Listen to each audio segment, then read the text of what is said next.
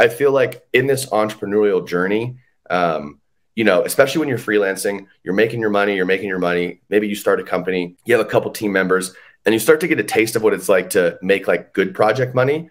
But then you become totally fucking overwhelmed and you have no ability to actually fulfill on anything. And so you actually need to start making less money. And I know I'm sure you know, right? Everybody who's been in this situation noted you need to start making less so that you can grow. All right, I need to start making a little bit less so I can hire an editor, so I can hire a full time this. Then becoming content becomes way easier because instead of having to spend three and a half hours coloring this project, now I can spend three and a half hours making content. And that's one of my mentors was telling me you need to spend as much of your time as the business owner on income generating activities. And right now, that's content, outreach, and sales calls. That's smart.